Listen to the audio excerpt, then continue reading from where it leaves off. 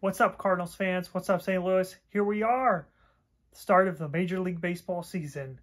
Starting tomorrow, there will be baseball all the way up until the end of October. I'm excited. Baseball is my love, and I cannot wait for tomorrow. I'm the, got my eye on quite a few things, but I'm going to shrink it down to five for you. Number one, the rotation. Two, the outfield in general.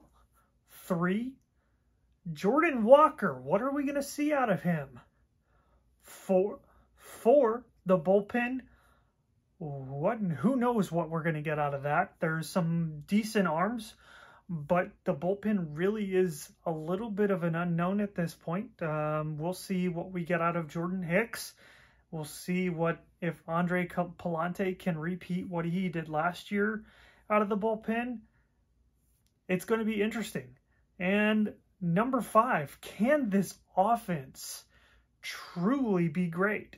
There are a lot of names. There's a lot of hype. There's a lot of possibility. But is the offense going to perform the way that we think it is? So, number one, the starting rotation. It's not looking fantastic. It's not looking horrible, but it's not looking fantastic. Adam Wainwright goes down. He's going to be out for probably at least a month. It's looking like he's going to be missing at least a month. Groin injuries don't heal very fast. They're normally, uh, from what I understand, like a four to six to eight week timetable. And Adam Wainwright's not a spring chicken. So it might be a while until we see Adam Wainwright pitch again, which is really disappointing given his last season. You know, hate for the guy to be struggling like this. Um, but you've got some intrigue. You've got uh, a rotation that has a lot of, I guess you could say, ifs. Um, Jack Flaherty, what are we going to get out of him? It's going to be interesting. Are we going to get the ho hum, go out there and just kind of be okay? Jack Flaherty? Is he going to get rocked? Is he going to be average? Or are we going to get a repeat of the 2019 Jack Flaherty? Um, it's not likely that we're going to get a repeat of 2019, but can he at least regain some of that form? Miles Mikolas, what are we going to get out of him? Is it going to be the, the pitcher of last season, the dominant number two starter, going to be going out there every fifth day and shoving? Or are we going to get the Miles Mikolas that is leaving pitches in the middle of the plate and getting rocked and maybe lasting five innings an outing? It's going to be interesting. Jordan Montgomery, are we going to get the Jordan Montgomery that we had? Um, for most of the this the time that we had him last year, or are we going to get the, the the version of Jordan Montgomery that the Yankees had? You know, what is what role is Willson Contreras going to play into the rotation? Is it going to play a similar role to the way Yadier Molina commanded the the rotation? Um, those are big shoes to fill, and nobody is expecting Willson Contreras to to have the effect on the rotation that Yadier Molina would have. But it's going to be interesting to see that dynamic play out.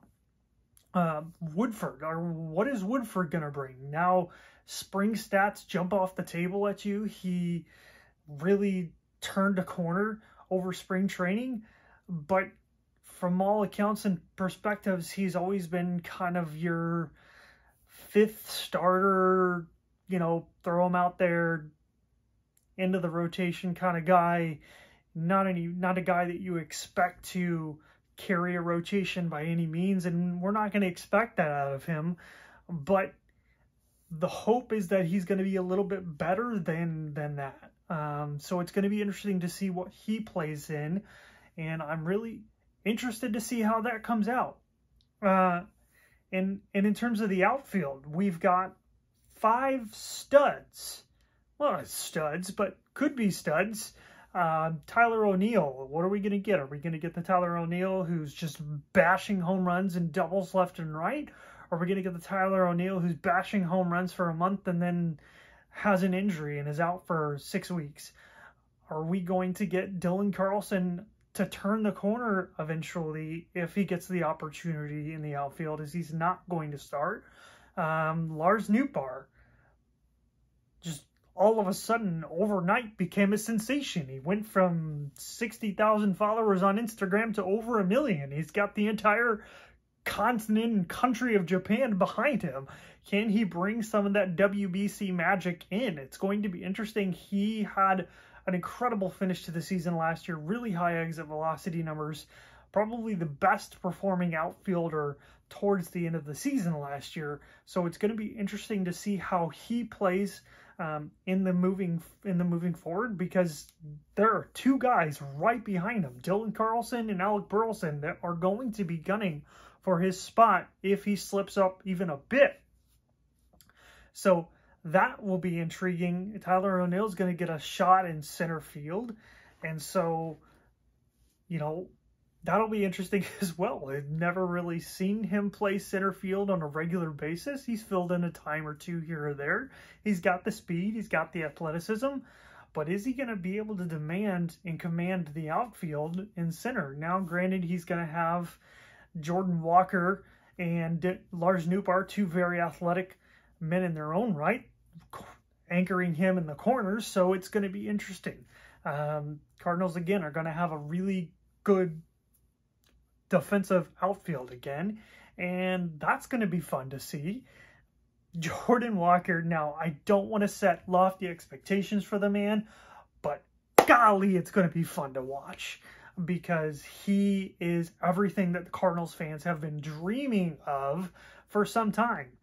Athletic, big, that potential to be an incredible, incredible baseball player, and it's going to be fun to watch.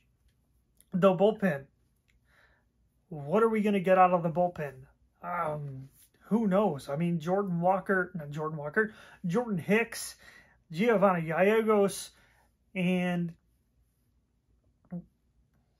Ryan Helsley, Jordan Jordan Hicks, Ryan Helsley, Giovanni Gallegos, not necessarily the order in which they'll be out there.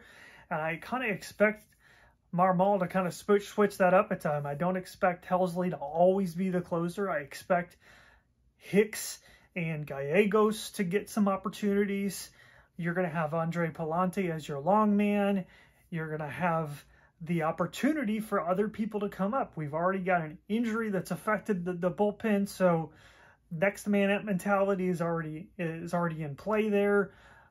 Who knows how the bullpen will be, but hopefully Helsley will anchor us at the closing position and Gallegos won't be affected too much by the pitch clock because we all know Gallegos does not necessarily work fast. Now, the bench and the offense in total is going to probably be the thing to watch out for the most, I feel like. This team has so much potential offensively. They have the potential to be possibly the best offense in the league. And it's going to be fun to watch. Uh, another season with Nolan Arenado and Paul Goldschmidt right in the middle with Brendan Donovan Jordan Walker, Tyler O'Neill, Lars Nootbaar, and then Nolan Gorman, who's had a fantastic spring training. Tommy Edman at the top of the lineup. It's going to be really fun to watch, and I expect that they will be in most games because of the offense. So I'm really excited to watch that there's just a lot of things to, to look forward to. Um, the offense is just one of those things that, that probably has me the most excited. I'm really looking forward to that. And I cannot wait. Cardinals fans, we're here. Opening day is here. Now I might have said five things and but you know what? These are this is what's on my mind right now. The offense what is what are we going to see out of Jordan Walker? The rotation, the bullpen,